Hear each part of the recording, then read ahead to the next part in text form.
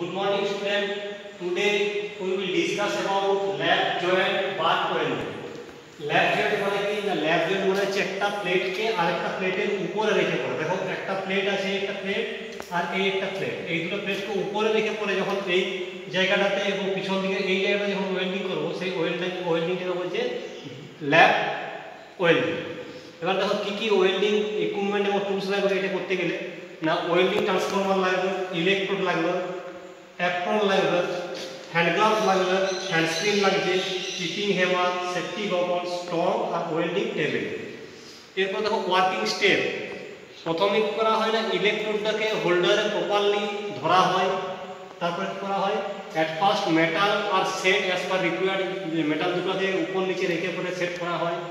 Tag must be done in both side এই সাইডে প্রথমে ট্যাগ মারা হয়, এই সাইডে মারা হয় পিছন দিকে চার মোট চারটে সাইডে ট্যাগ মারা হয় কারণ কি কারণ মেটালটা ব্যান্ড হয়ে যেতে পারে বা মানে জয়েন্টটা ঠিক মতো না হতেও পারে ওই জন্য ট্যাগ করা হয় তারপর tag must be remove slag স্ল্যাগগুলোকে ট্যাগের স্ল্যাগগুলোকে রিমুভ করা হয় রিমুভ করার পরে এরপর কি কি করা হয় না কন্টিনিউয়াসলি তারপরে আহ, পুরো পুরো বেডটাকে রেডি করা হয় অর্থাৎ ওয়েল্ডিংটাকে রেডি করা হয় কি কি প্রিকুয়েশন আছে use hand screen gloves apron safety shoes safety goggle strong must be use at the time of welding welding করার সময় আমার এই যে পার্সোনাল প্রোটেক্টিভ ইকুইপমেন্টগুলো আছে, যেমন হ্যান্ড গ্লাভস তারপরে hand screen safety shoes safety goggle strong এগুলো কিন্তু আমার ব্যবহার করা বাধ্যতামূলক। কারণ কি না, আমাদের ওয়েল্ডিং করার সময় এটা প্রচুর হিট উৎপন্ন হয়, তাছাড়া একটা ফ্লেম উৎপন্ন হয়, যে ফ্লেমটা আমাদের চোখে খুব ক্ষতি করে, ওই জন্য হ্যান্ডস্ক্রিন ব্যবহার করা হয়। তাছাড়া ওই যে মেটাল চিপসগুলো যদি কোনো কারণে পায়ে এসে পড়ে যায়, গরম হট মেটালগুলো তাহলে পায়ের ক্ষতি হতে পারে, ওই জন্য সেফটি শুজ ব্যবহার করি। তাছাড়া একটা মেটালকে যখন ওয়েল্ডিং করি, তখন তার মধ্যে প্রচুর হিট জেনারেট হয়। সেই হিটটে সেই হিট হিটিং মেটালকে যদি আমি খালি হাতে করে খালি হাতে করে আমি যদি শিফট করতে চাই বা রিমুভ কোনো জায়গায় ট্রান্সফার করতে চাই, তাহলে কিন্তু আমার হাতে মানে অ্যাক্সিডেন্ট হয়ে যেতে পারে। ওই জন্য আমরা টং ব্যবহার করি। Welding place must be water free মানে আমরা যেখানে ওয়েল্ডিং করি, সেখানে ওয়াটার ফ্রি যেন হয়। মানে যেখানে সেখানে যদি জল থেকে যায়, তাহলে আমাদের মানে শখ খাওয়ার শখ খাওয়ার চান্স থেকে যায়। ওই জন্য ওয়াটার ফ্রি করা হয়। Power supply must be stop after welding welding হয়ে যাওয়ার পরে পাওয়ার সাপ্লাই কিন্তু বন্ধ করে দিতে হবে তাছাড়া কি হয় না the gap keep between electrode and and work piece at three M বলছে যখন আমি ইলেকট্রোডটা জবের উপরে টাচ করব, তখন একদম ফুললি টাচ করব না, যেন জব বা ওয়ার্ক পিস এবং ইলেকট্রোডের মধ্যে মিনিমাম থ্রি এম গ্যাপ থাকে একটা। আর হ্যান্ডকে আমি লেফট সাইডে এবং রাইট সাইডে কন্টিনিউয়াসলি কী করব? মুভ করব। মুভ করব হ্যান্ডটাকে তো এরপরে আমি দেখো তোমাদের প্র্যাকটিক্যালি দেখাচ্ছি কী কী জিনিস হয়। দেখো প্রথমেই বলেছি যে অ্যাপটন ব্যবহার করতে হবে। অ্যাপটনটা আমি পরে আছি এটা। বডিকে প্রোটেক্ট করার জন্য।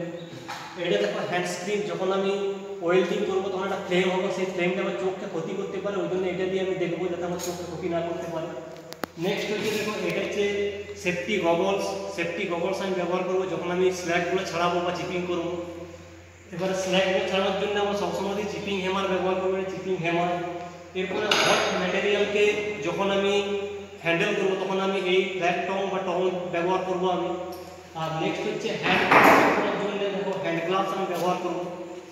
দেখো, এরপরে কি করব আমি? প্রথমেই আমি হোল্ডারের মধ্যে ইলেকট্রোডটা ইলেকট্রোডটা ফিট করছি। ইলেকট্রোডটা আমি এটা ফিট ফিট করা হয়েছে। ইলেকট্রোডটা দেখে নাও ইলেকট্রোড মুভমেন্ট হচ্ছে কিনা। ইলেকট্রোড ফিট করার পরে কি করব? না, আমি পাওয়ারটা দেবো। পাওয়ারটা দেওয়ার পরে দেখো, আমি হ্যান্ড স্ক্রিনটা দিচ্ছি। হ্যান্ড স্ক্রিনটা দিয়ে আমি প্রথমেই বলেছি মেটালটা সেট করতে হবে। দেখো দুটো। দেখো দুটো মেটালকে উপর নিচে রাখা হয়েছে, উপর নিচে রাখা হয়েছে। এরপরে কি করব আমি? ট্যাগ করব। ট্যাগ কিরম করে করে?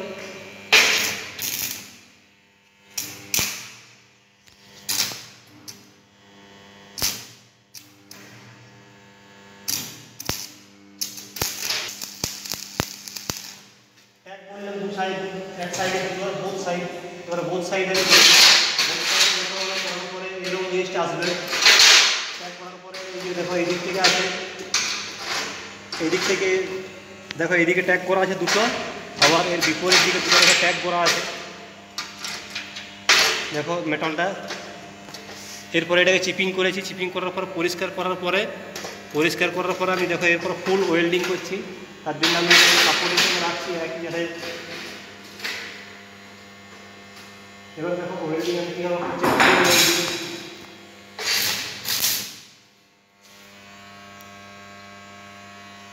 ফুল ওয়েল্ডিং কীভাবে করছি দেখো ডান দিকে বাঁ দিকে আমি মুভ করছি হ্যান্ড আর মিনিমাম একটা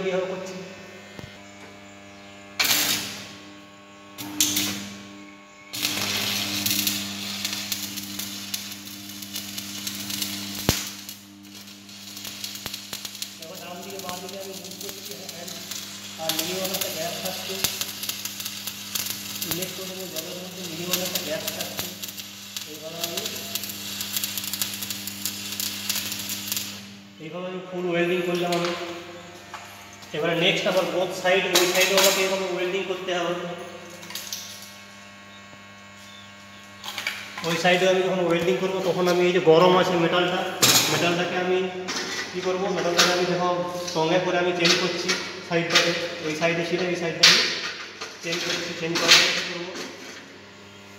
চেঞ্জ করার পর এই দিকটা আমি কন্টিনিউয়াসলি ওয়েল্ডিং করব।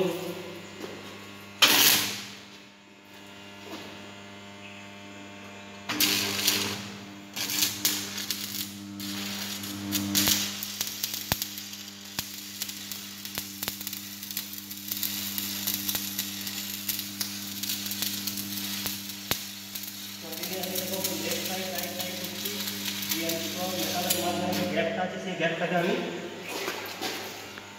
গ্যাপটাকে ফিল আপ করলাম ফিল আপ করার পরে এরপরে আমাকে সেফটি গগলস ব্যবহার করতে হবে, দিয়ে চিপিং করতে হবে। চিপিং করে দেখো কী অবস্থায় আছে। ওয়েল্ডিংটা কেমন জয়েন্ট হয়েছে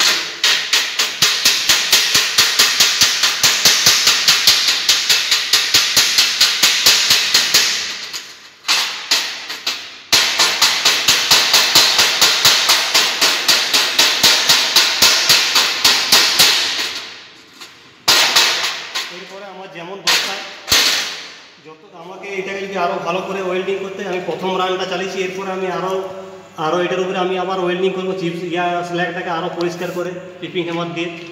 এইভাবে আমার দেখো একটা প্লেটের উপরে আর একটা প্লেট ওটা জয়েন্ট হয়েছে, ওটা ল্যাব জয়েন্ট হয়েছে। ল্যাব জয়েন্ট হয়েছে। Thank you student